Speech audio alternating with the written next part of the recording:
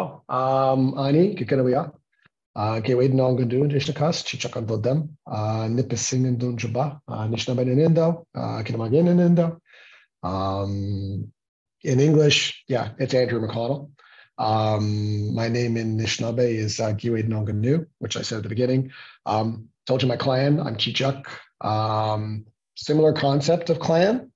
Uh, you probably know the word. You've probably heard the word totem and uh, that's that's that's our word specifically Anishinaabe folk. That's our word for clan, and it's a reference back to our family. Uh, my family is from Nipissing First Nation, so you know Sheila, you might have a concept of where Nipissing is in relationship to Toronto, um, but that's that's where my family. I have family members who live there. I live in Toronto, which is about three and a half hours south. And yes, I know in Europe you actually measure things by kilometers. In Canada, we measure by time. Um, so if I say it's three and a half hours away, I have no idea how long that is in kilometers. I just know that I get in the car, I drive for three and a half, and I'm there.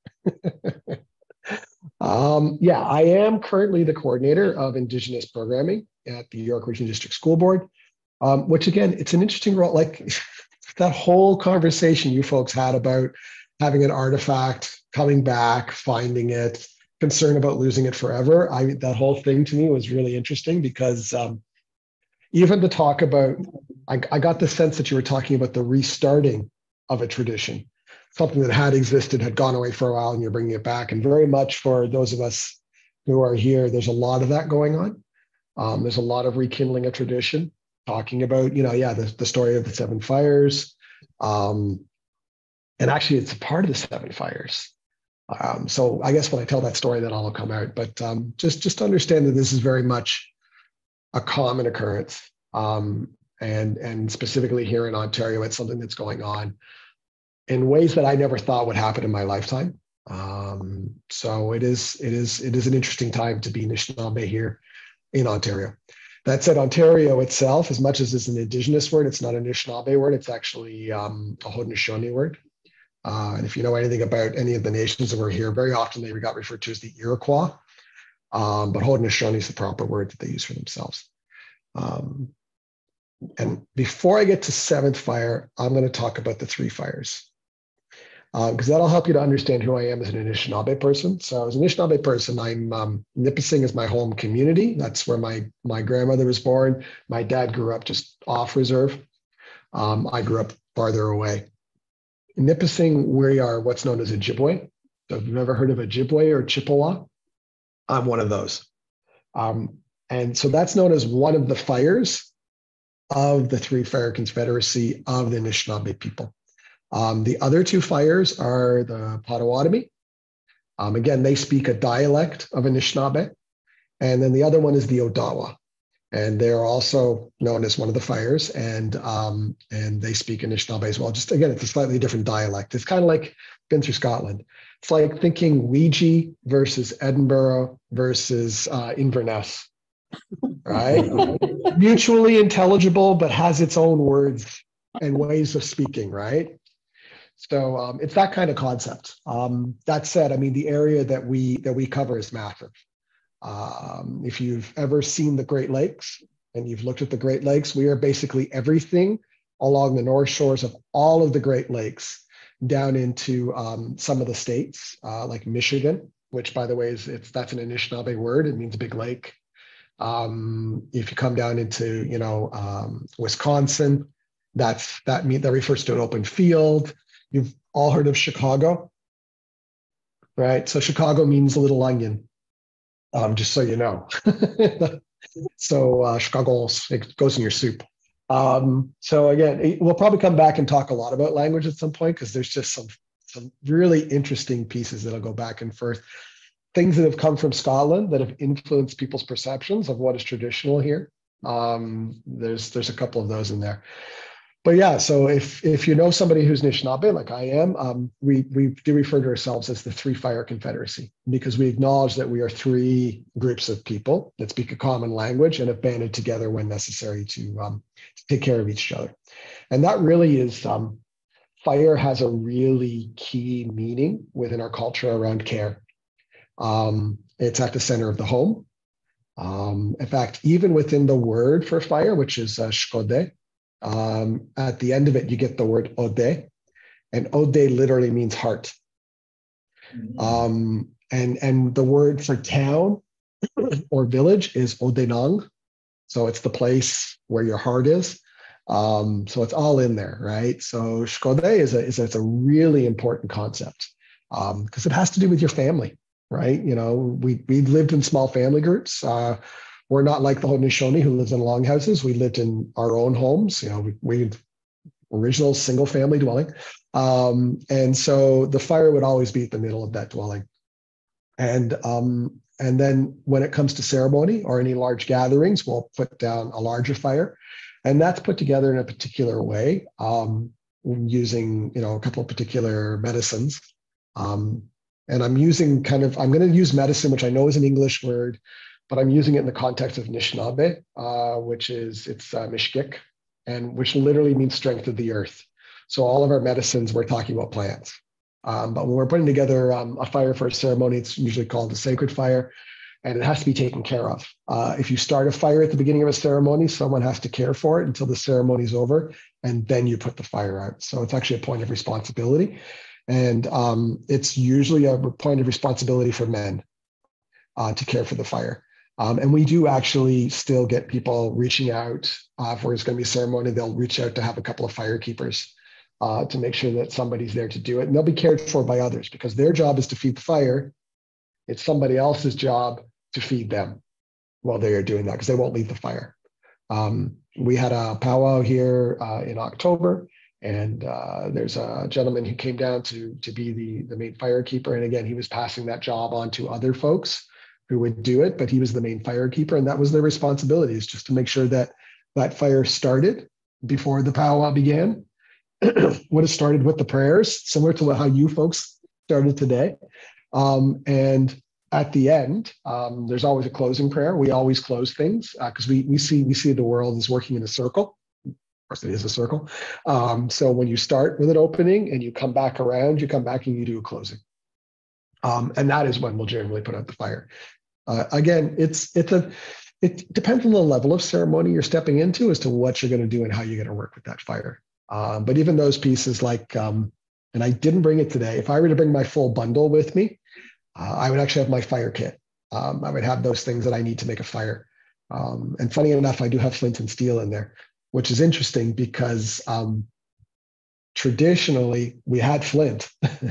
we don't have steel. Uh, we were not known as great steel makers. So again, we wouldn't have used flint and steel to, to start a fire. We we have a different way of doing it with sticks which works, by the way. It works really well. When you get good at it, it's piece of cake. Um, if you don't do it very often, then you're not going to do it.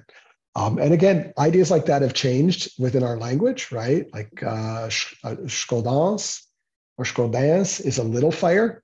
That's that's a match, right? Um, refers to something that makes fire or holds fire, shkodebik, and that's that's a lighter which funny enough, and I don't think you get Bic lighters in Scotland, but here we get Bic lighter. We have the Bic lighter. And so it's always, it's one of the biggest like running jokes in Ojibwe. It's like everybody's go, I got Bic. They'll hold up their Bic. so, so those things, you know, those, those are the crossovers of culture. And there we go. See, yeah, Shkode Bic. If you hear it, Shkode Bic. Um, that's the way the language works. It's very cool. And it does that sort of piece. Um, so yeah, Sheila, you asked me about the, the the the prophecy or the story of the seven fires, and this is this is really interesting because it's sacred but not sacred. It's not like that level of I wouldn't be doing this here, um, but it is a it is it is it is a request, and it's funny because um, normally if somebody were to ask me to do this, I would expect to get tobacco and that's and which is impossible in this situation right? You're there i'm here it's not going to happen. So don't worry about I, I have my own by the way i'm holding my tobacco. Um because everything we do when it when it's serious work starts with tobacco. Um, if we take something off the land we leave tobacco. Um, when we do our morning sort of some people call it a sunrise ceremony but if you're saying your prayers giving your thanks for the sun came up again again we're big on fire like we're huge on fire right? Like we acknowledge the sun is the original fire um, when that comes up, we'll put down our tobacco in the morning and say thanks. Um, same same being, same creator. Um, it's just you know it's Kijimanado, great spirit, as opposed to God, right? Same process, same thought pattern, same reference to everything else um, in those particular pieces. But um, you know, really, when we're thinking about those things and when we start, it's always about starting in a good way, and we start with tobacco because for us, that's where the story comes from. It's uh, everything starts with tobacco. So as far as the seven fires goes, um, I'm going to go back to where I first heard it. And so I was born in the 70s. Um, and so as much as I was born knowing I was Native, as much as I was born knowing I was Nipissing, as much as I was, I grew up knowing I was Ojibwe, um, I was born at a time when culture wasn't out front. Um, if to give you a sense and understanding, uh, all of our ceremonies were illegal until 1951. Um, that is when we got back the rights to actually start holding ceremonies. And if you think about how hard I would assume it was for you to kind of resuscitate some of the ceremonies that you had lost or had set aside for this group, um, imagine if it was illegal and imagine if it was lost in some families, what would you have to go through to start those processes again? And it it's taken a couple of generations to get these things back. Luckily, a lot of our ceremonies and cultures kind of went underground. Um, but what it meant was that even from that period from 50 until 72, when I was born, a lot of those things were still being kept underground because if there's one thing we learned for the 100 years when things were illegal, we didn't trust the government. Um, and we didn't trust all the organizations attached to the government um, because they use those things to do all sorts of things to us. And I'm not going to get into all of that today. Um, just understand that it's been a long time coming.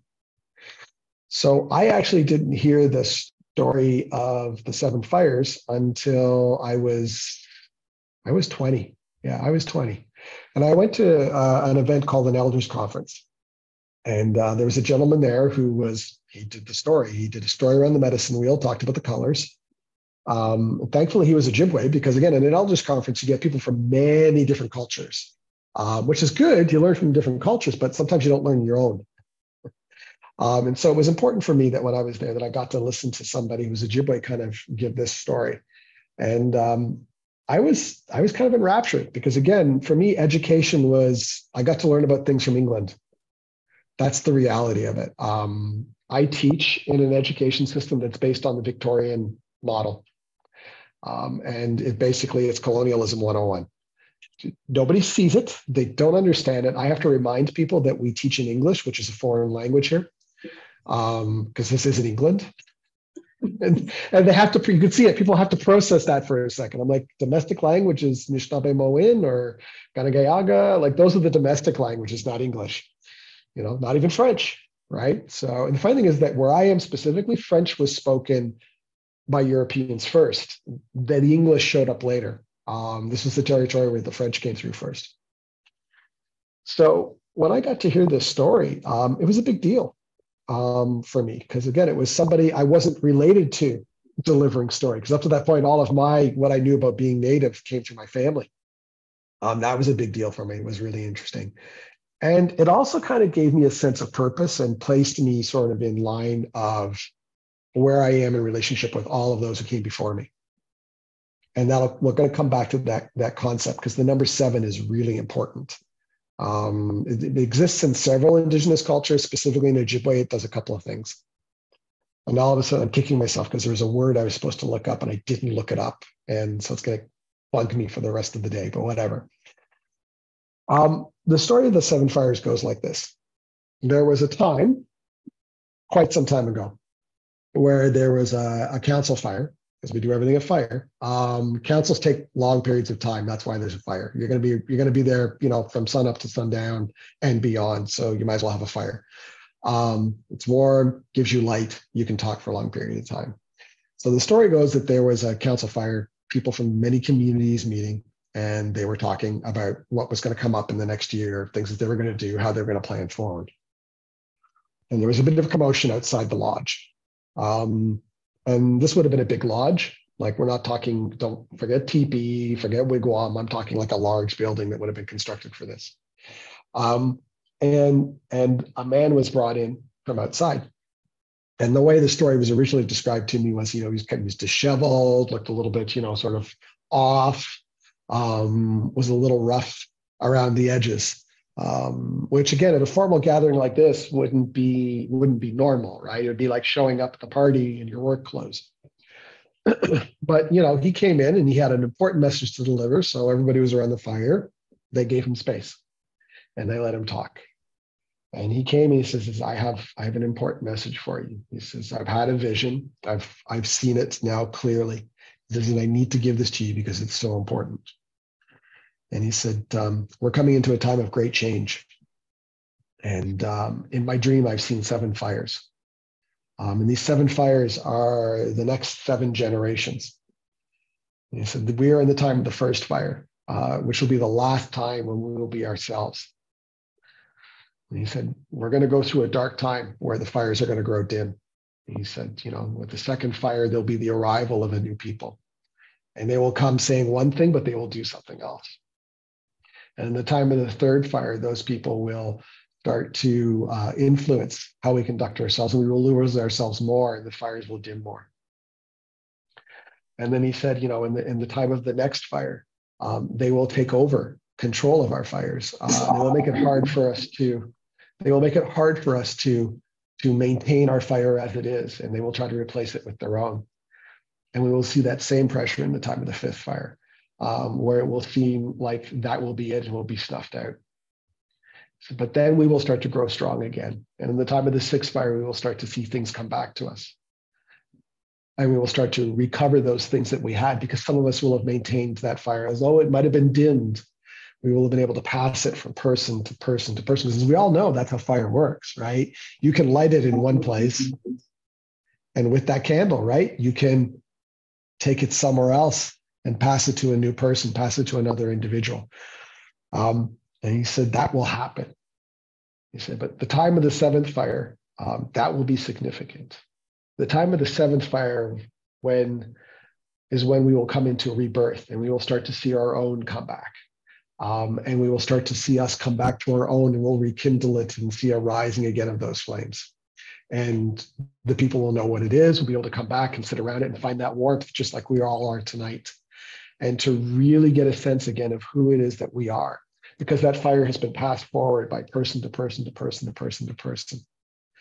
He says that time of the seventh fire, you'll know it because that's when the eagle will fly its highest. And we're big on eagles, by the way, like really big on eagles.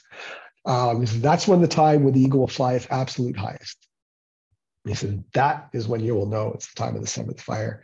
And that's when you'll know it is the time to be safe to bring back the culture because we will be back in control of who we are and, and what we bring to this world. And so, you know, they spent a long time. They talked around that thing and they, they, they, they, they had heard the man and he stayed, they fed him, gave him water and they talked around it a bit more and really the decision was made was that you know it is our role as the time of the first fire to really think seven generations ahead to make sure that what we do is to prepare all of the future generations to know what it is to be us and to carry that package forward carefully um, and to move it on to the next person, the next person, the next person. I know, Sheila, you've got the book of uh, uh, Edward Benet Smith, right? Um, and uh, I know in there they talk about the scrolls, right? Um, and that would have been the time when they made the decision to hide the scrolls.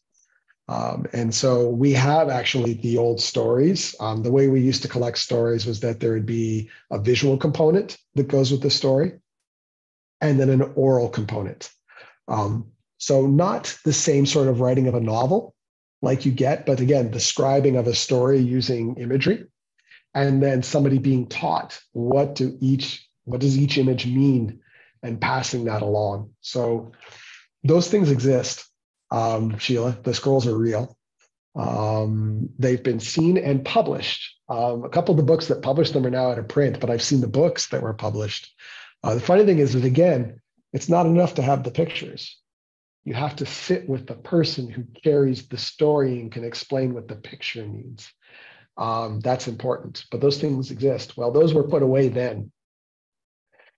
Um, and it's significant that I'm telling you that because, like I told you, they exist. They've been brought out, they've been put away, and they've been brought out.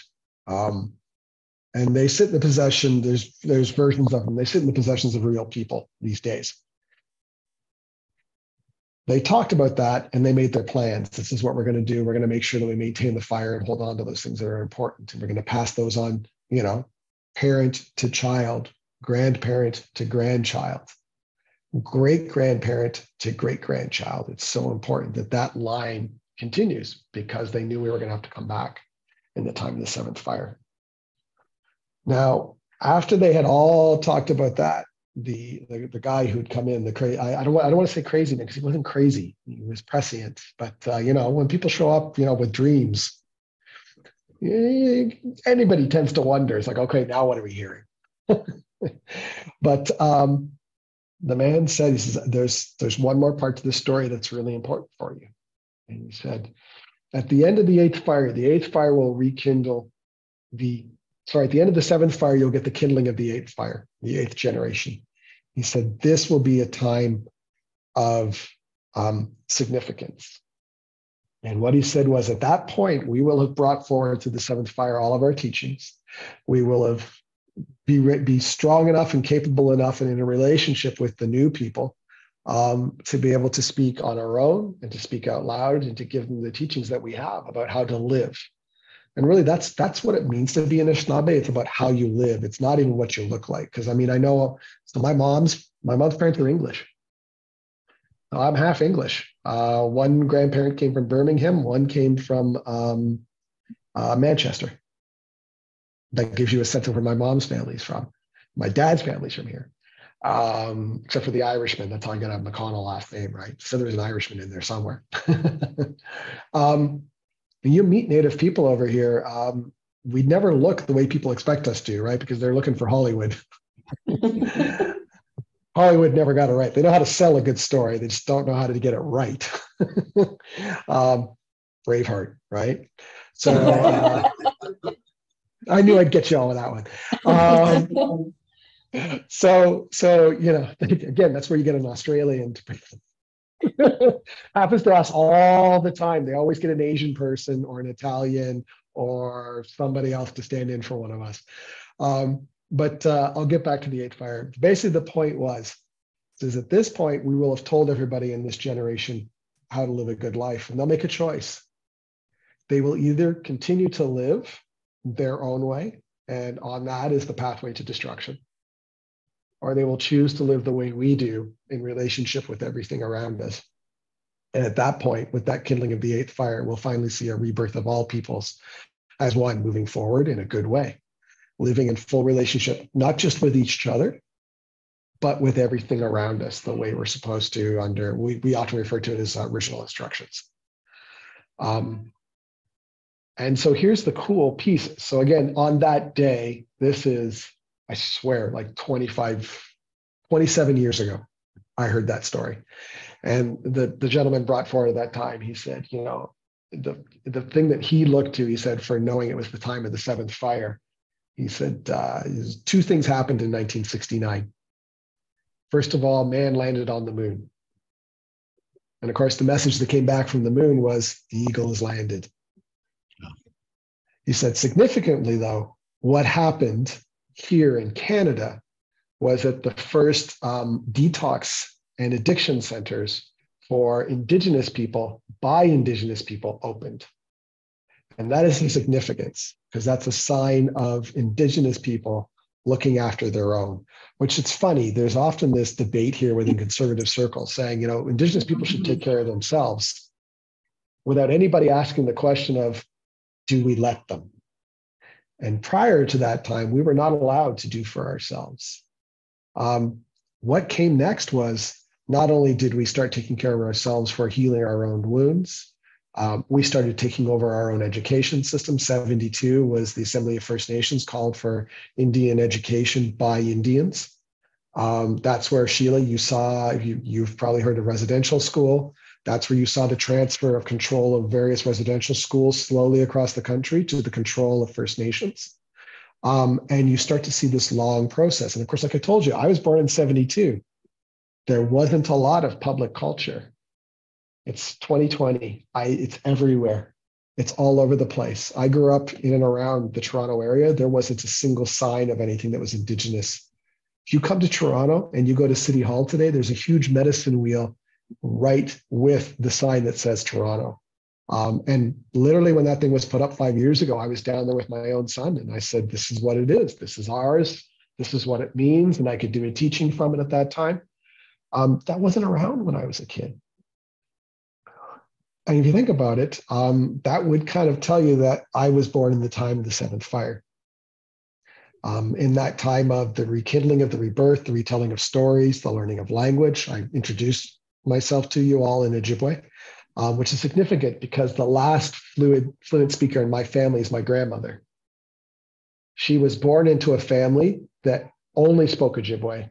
She was sent to school away from home did not speak the language when she came home, even though she could speak it because it's the only one her, her mother spoke, and she taught her kids English. Um, therefore, when I was being raised, um, we didn't speak Ojibwe in the house. And again, that's significant because it's not like I live in a foreign country, right? I live in the land of Ojibwe folk. Like that is the language of the land. Um, right down to I said, you know, there's a couple names like Michigan, you've heard of Chicago, you know, Wisconsin. Um, there's many more names um, all over the place. Ottawa, like you might have heard of the capital of Canada being Ottawa. I mentioned that one of the three nations, one of the three fires is Odawa. That's the proper pronunciation of Ottawa. It's Odawa. That's where the that's where the accent goes. Um, so we're all over the place. Even Quebec, the name Quebec is Ojibwe, it means closed off. Um, so you know, all of those things are there. Um, so it's significant that through my life, these things have reawakened, reopened um, to the point where my son was taking uh, Anishinaabemowin, which is Ojibwe language courses online with a teacher from Serpent River, again, making connections to community in good ways. Um, both of my children have their name in Ojibwe. I didn't have it until much later in life. They've had it since they were little. Um, and they both know what it means and they carry it very well though they both also have an English name and an Italian name because my wife's Italian. Um, again, where you come from is important. It matters. It kind of dictates, you know, because while you might be walking around in the earth of a different place, you carry the DNA from somewhere else.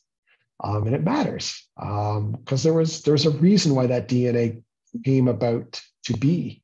Um, and so you bring that forward with a bit of a bit of sense of understanding of I belong to something. But that's kind of where we are. It's the time of the eighth fire, this time where the rest of the world has to listen to how we live. And you can see it. A lot of indigenous nations all over the world are kind of standing up and saying, you can't use land, water, and air the way you do and expect to survive.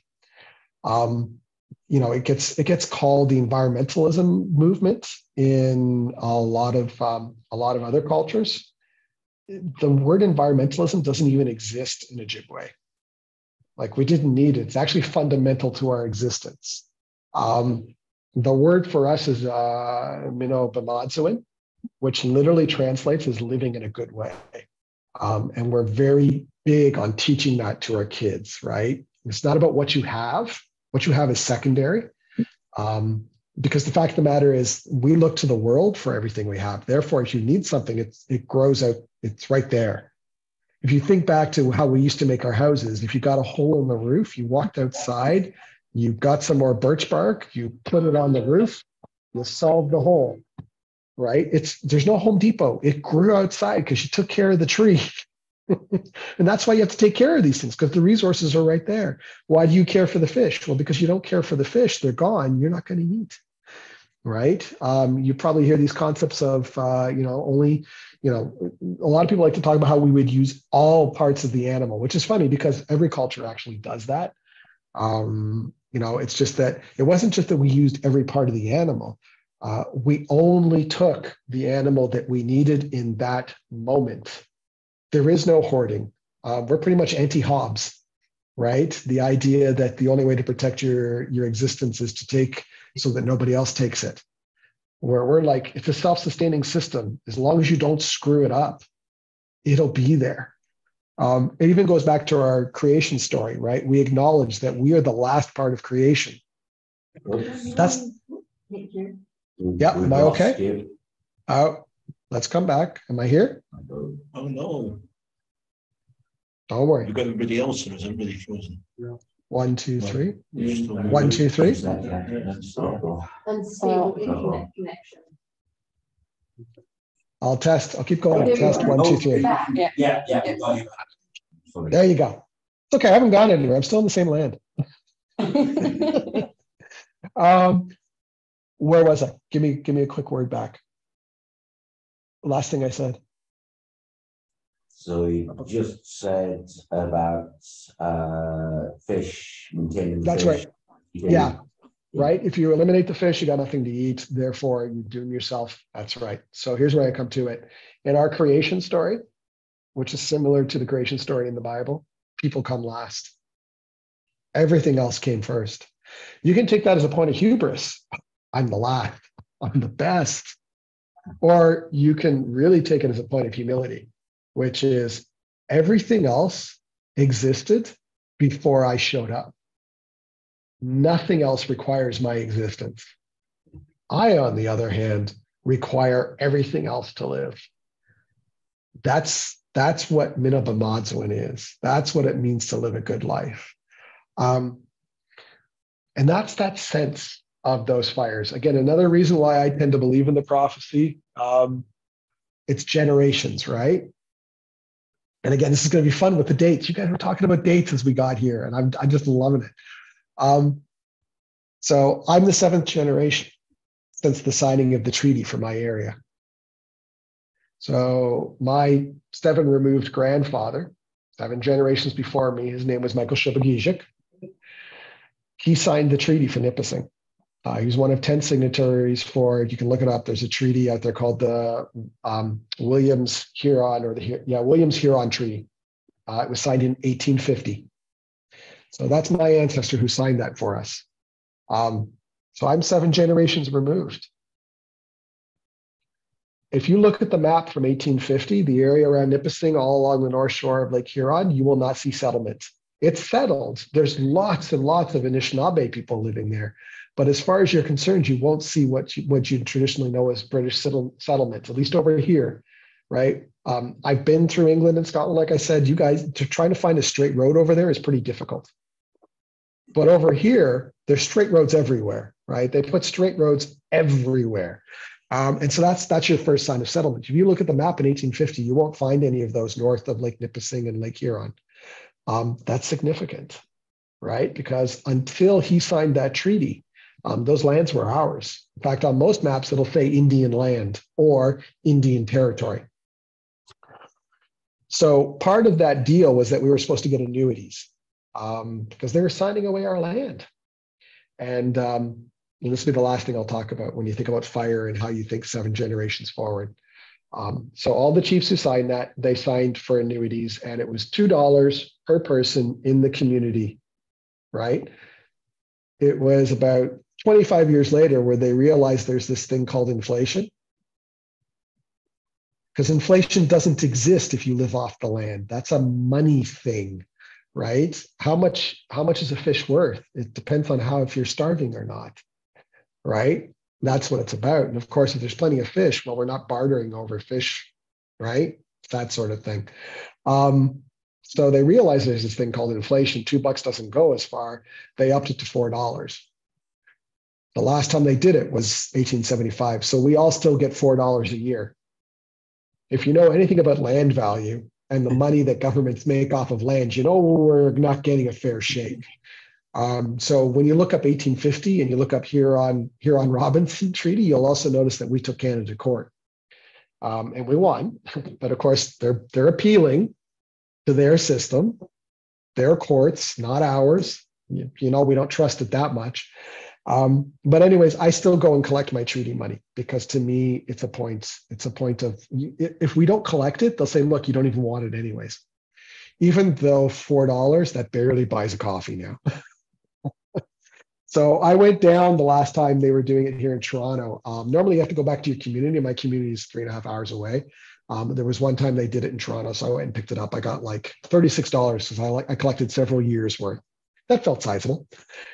And then I asked, I went, "Can I get my kids treaty money?" Because my kids weren't with me. I they, they were at school that day. I was off. Um, and the, guy said, "Yeah, sure. What's their name? Same last name?" I went, "Yeah, it's my children, same last name." He looked them up, and I got, you know, I got uh, I got eight dollars for one kid and eight dollars for the other, because uh, they'd only had their status for two years. That's a whole other thing. You, you can't be born an Indian you have to apply to be an Indian. It, it's it's wonderful. Trust me, the way the government works, it's incredible. Um, so so I got eight dollars for one kid, eight dollars for another, and I went home. And this is where that whole seven generation comes in. Uh, my daughter, she walked in from school. I went here. This is yours, and I gave her I gave her eight dollars. And she looks at me and she says, "What is this?" I went, "Well, it's your treaty money. You know, you got it for that." She says, "Why do we get it?" And I had one of those pauses for a second, and just you know, the idea kind of popped in the back of my head. I said, "Because your ancestor knew um, seven generations ago, eight generations ago, that you would be here. And that what he was doing that day was that he was signing away your right to those lands, that it sustained him and all the generations before. And that he wanted to make sure that you had something to take care of you because he knew you were going to be here. And that's one of the fundamental teachings of the seven generations with us is that any decision you make must be made within the concept of not only what does it do for me and my children and my grandchildren, but what will it do for all of my relations seven generations into the future? And that's that's where those pieces kind of all click back to me for the seven fire prophecy. I don't know if the guy actually came in. I don't know if the council went in. All I know is that the teaching makes sense, it works, and it gives me a sense of purpose for all those things that I'm supposed to do in my generation, which is take these stories forward in a good way, follow our traditions, do things to the best of my ability as I can in our way, um, and to relate to others in a good way, not so that they will become like me, but so that they can be themselves and that I can be me and that we can work together and hopefully get that promise of the eighth fire, which is living in a good way uh, for all of us in all spaces. So there you go. I told you, Sheila, all you got to do is wind me up and then let me go.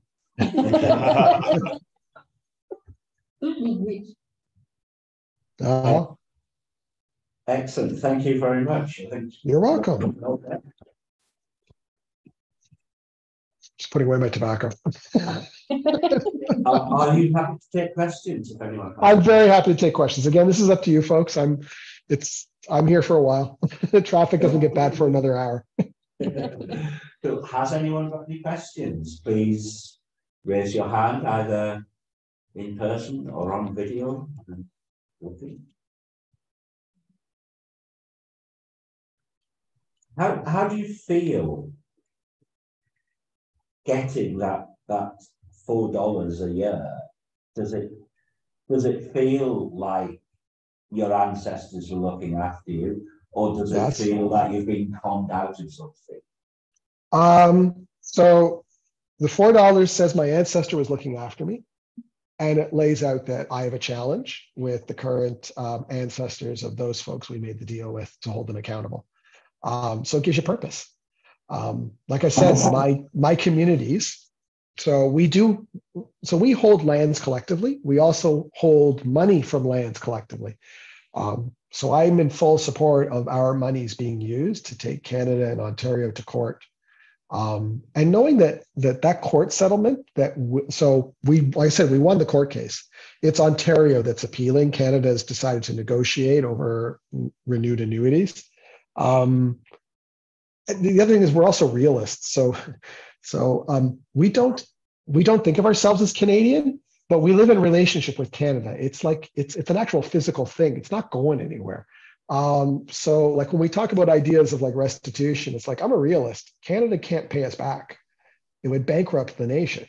Um, it's just going to have to be about like, you know, what can we do in a good way that will help us look after ourselves? Because that's the whole point. The signing of the treaty and the annuities was so that we didn't have to rely upon anybody else to look after ourselves. Um, I'm part of Nipissing First Nation. We're actually in the process of coming out of the Indian Act. And the Indian Act is the piece of legislation that exists in Canada that governs us. And it's only us. And yeah, it's racist, it's sexist, um, but it's the only piece of legislation that guarantees our treaty rights. Um, so nations are choosing to come out only when they have a set deal with Canada and whatever province they happen to be tied to, uh, because Canada has responsibility for relationships with First Nations. The provinces have responsibility for the land. And of course, we're like, we are the land. like, like that's actually what defines us. And I mean, it's funny how hard that is for Canadians to get. Europeans understand it like that. because you all live on your lands. um, but for people who are here, they've, especially for folks who are two or three generations removed, right? People who are newly immigrated to Canada, they have a strong tie and connection to a piece of land somewhere else in the world. For people who are born here, they have a strong tie to this land, but a culture from somewhere else. And that's where the disconnect sometimes kicks in, right? Um, you know, and, and yet still we have lots to teach each other, right? Like we follow a lunar calendar. So I find, you know, a lot of the Asian traditions that I currently want, we just went through New Year's here, right? Um, you know, I, I find it fascinating because we also follow a lunar calendar. Um, of course, our names for the moons are totally tied to what's happening, right? Like we're this is moon of crusted snow right now, um, because and Sheila knows this. Like the snow's on the ground, it's got a hard crust on it. It's I I, I hate this snow. I hate it. Um, but the next moon is um, Sweetwater, and and Sheila, you know why it's called Sweetwater? Again, I'm testing your Canadian this year, right? After, after your passport. What starts? What happens in March? Uh, is it the Quebec Festival? You put the maple syrup on the, on the snow. There you go. sweet water. The sap starts to run. Right. Uh, the maple the maple sap will start running, and that's when we would leave our winter camps and settle in our spring camps, and we do our collection of uh, maple syrup for the year. Um, we only have two sources of sugar here traditionally, right? One is maple syrup, the other one is honey. And so we'd be getting our maple. This is where we're getting our big boost of uh, sugar because we, would have run out of sugar over the winter.